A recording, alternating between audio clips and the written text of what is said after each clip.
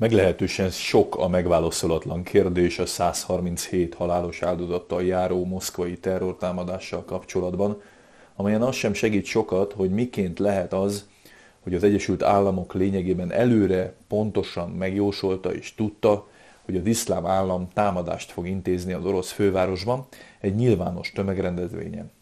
Amerika szerint ők előre szóltak az orosz hatóságoknak, Putyin viszont provokatívnak minősítette ezeket a jelzéseket.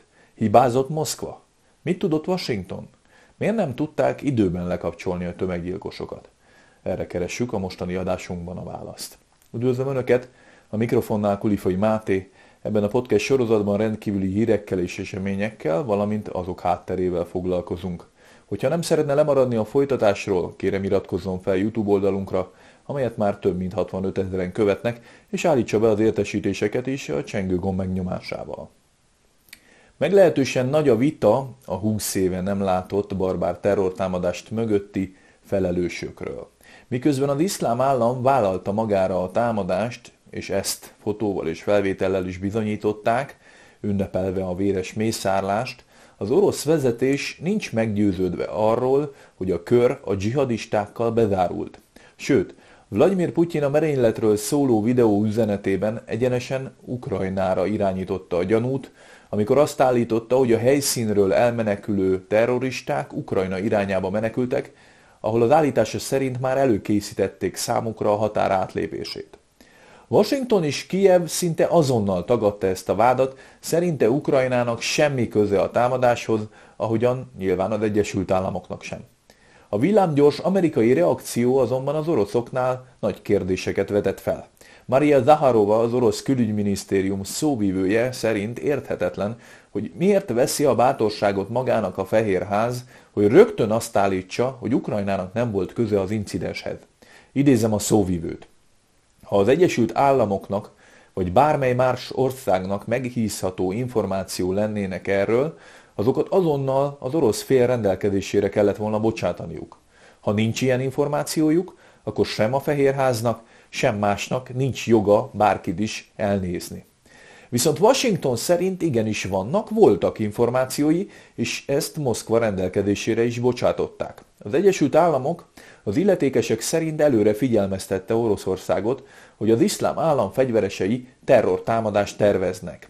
Március elején ugyanis az Egyesült Államok oroszországi nagykövetsége közölte, hogy, idézem, figyelem kíséri azokat a jelentéseket, amelyek szerint szélsőségesek támadásokat terveznek moszkvai tömegrendezvények, köztük koncertek ellen. Emiatt egyébként figyelmeztették is az amerikai állampolgárokat, hogy kerüljék el az ilyen helyszíneket. Igaz, ezt a nagykövetségi figyelmeztetést március 7-én adták ki, és csak 48 órára szólt. A terrortámadás pedig március 22-én pénteken történt. Adrian Watson, az Egyesült Államok Nemzetbiztonsági Tanácsának szóvívője elmondta, hogy az amerikai kormány figyelmeztetési kötelezettségi politikájának megfelelően megosztotta ezt az információt az orosz hatóságokkal. Hozzátette, hogy Vladimir Putyin viszont éppen a héten, a keddi beszédében provokatívnak minősítette az amerikai figyelmeztetéseket, mondván, hogy ezek az akciók egyenesen zsarolásra hasonlítanak, és a megfélemlítés és a társadalmunk destabilizálásának szándékára. Ez az álláspont egyébként annak ellenére hangzott el, hogy az orosz hatóságok az elmúlt hónapban több iszlám állammal kapcsolatos incidens jelentettek. Ami tehát nem teljesen világos, hogy pontosan mit tekintett Putyin amerikai provokációnak, és mégis hogyan tudhatta az Egyesült Államok hetekkel előre, hogy az iszlám állam érintett ága éppen egy koncert ellen fog támadást végrehajtani, ráadásul mindezt nagykövetségi szinten. Azt fontos tudni, hogy 13 éve volt utoljára ilyen jellegű merénylet Moszkvában. A New York Times arról írt, hogy az iszlám államnak azért lehetett indítéka Oroszország ellen terrortámadást végrehajtani, mert Moszkva már 2011-ben beavatkozott a szíriai polgárháborúba Bashar el-Assad szír elnök oldalán, és így az iszlám állam ellen is küzdött, ahogyan egyébként odahaza is szigorú akciókkal lép fel a dzsihadista szervezet helyi csoportjai ellen. Története legsúlyosabb merénylet hullámát Oroszország egyébként 1999 őszén szenvedte el, amikor Moszkvában, Volgodonskban, illetve Bunyanskban tíz nap alatt három lakóház robbant fel, összesen 294 ember halt meg, de ezt követően is volt brutális támadás.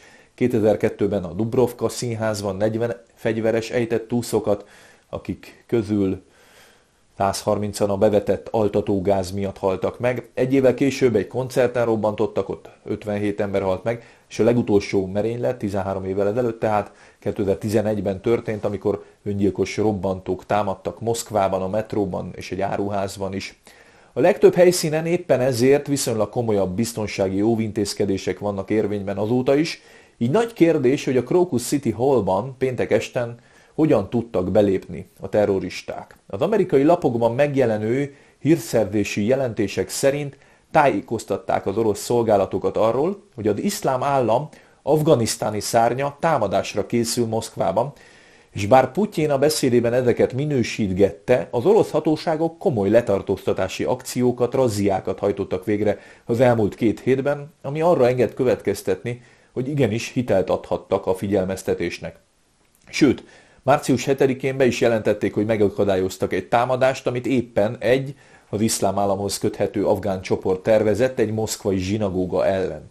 Ennek hírére adta ki több nagykövetség is a fenten már részletezett figyelmeztetést. Március 9-e óta azonban nem volt érvényben semmilyen ilyen jellegű figyelmeztetés. A nyugati lapokban néhány oknyomozó riporter és elemző egyenesen azt latolgatja, hogy akár az is elképzelhető, hogy maga az orosz állam szervezte a támadást, hogy szándékosan nem akadályozta azt meg. Mert akkor ezzel tudná vádolni Kievet a támadással, így megágyazva egy szélesebb körű mozgósításnak az orosz társadalmon belül. Ezt viszont nyilvánvalóan súlyos sértésnek tekinti Moszkva, hogy a saját civil állampolgáraival szemben, köztük családosokkal, gyermekekkel, tinédzserekkel szemben ilyen súlyos és kegyetlen atrocitásokat hajtottak volna végre. Emlékezzünk, az iszlám állam videóján az egyik áldozatnak például el is vágták a torkát. Nem véletlen, hogy bizonyos orosz elemzők pedig sokkal inkább Ukrajnát vagy éppen az Egyesült Államokat sejtik a támadás mögött. Akár ugyanúgy, hogy nem segítettek azt megelőzni vagy megakadályozni a hírszerzési információk visszatartásával. Az orosz sajtó is megejt ilyen jellegű cikkeket, gyanúsítgatásokat, idézik például Larry johnson a CIA és az amerikai külügyminisztérium ekkori elemzőjét, aki egyrészt gyanúsnak minősítette, hogy a Fehérház már akkor cáfolta Ukrajna érintettségét, hogy még azt sem tudtuk, hogy hányan, milyen fegyverekkel és pontosan hogyan csaptak le, arról nem is beszélve, hogy a személyazonosságuk is ismeretlen volt. Ráadásul az szerinte csak fokozza a gyanút, hogy éppen aznap jelentetett meg közleményt egy CIA-hoz köthető felület, hogy a hírszerzési közösség és a Biden kormány komolyan aggódik amiatt, hogy Ukrajna milyen indokolatlan és provokatív támadásokat hajt végre. Például az orosz olajfinomítók ellen, amelyek a kőolaj világpiaci árát is komolyan befolyásolhatják. Alexander Vucic, szerb elnök egyébként a március elejé, hajmeresztően precíznek bizonyuló nagykövetségi figyelmeztetés kapcsán azt fogalmazta meg, hogy szerinte ez azt jelenti, hogy a hírszerzésnek voltak olyan konkrétan lehallgatott beszélgetései és egyéb nyomozati anyagai, amelyek erről a terrortámadásról szólhattak, és jól tudták, hogy mindezt meg fog történni. A felelősökkel kapcsolatban egyébként azért is nehéz tisztán látni, mert mérhetetlen mennyiségű álhír vagy félig álhír kering most a különböző oldalakon. Megjelentek például az elkövetőknek tulajdonított, később hamisnak bizonyuló ukrán útlevelek is, vagy olyan elemzésekkel is tele van a közösségi média, hogy miért nem lehetett az iszlám állam a felelős, mert szerintük az erről szóló anyagok, képek, videók nem rájuk jellemzőek, például az elhamajásított arc, vagy a támadásnak a módja. Mások pedig úgy világítanak rá az Egyesült Államok szerepére, hogy felidézik azokat az évekkel korábban elhangzott kijelentéseket, mely szerint Amerika hozta létre az iszlám államot, név szerint Barack Obama volt amerikai elnök, a józanabb hangok, vagy egy fokkal józanabb hangok pedig inkább úgy fogalmaznak, hogy a CIA az iszlám állam összeomlása után beépült a dzsihadista szervezetbe, és így próbálnak meg befolyással lenni a különféle jövőbeni támadásokra. Sokan ennek tulajdonítják azt, hogy az utóbbi időszakban az iszlám állam éppen amerikai Amerika ellenségeit vette célba, hogy egy példát is említsek, Szulejmáni temetésének évfordulóján is ugyanaz a dzsihadista leágazás robbantott a tömegben, mint aminek a moszkvai mészárlást is tulajdonítják. A teljes igazságot valószínűleg soha nem fogjuk megtudni, minden esetre érdemes a pádlikat összerakni. Ajánlom a figyelmükbe a hetek aktuális lapszámát is, amelyben foglalkozunk azokkal a súlyos kérdésekkel, amelyek felmerülnek Magyar Péter személyével és a körülötte kialakult jelenséggel kapcsolatosan. Kezdve a magánéleti botrányával, az elhangzott vádak megalapozottságán át egészen a lehetséges kormányváltás dilemmájáig. Ugyancsak égető téma a NATO és Oroszország között elmélyülő feszültség, valamint az, hogy az európai vezetők miért licitálnak egymásra abban a tekintetben, hogy Ukrajnába küldenének katonai egységeket. Találhatnak filmkritikákat is alapban, hármat is, a Dűne második részét, a Most vagy sohaféle Petőfi filmet, valamint a Semmelweisről készült alkotást is górcső alá vettük.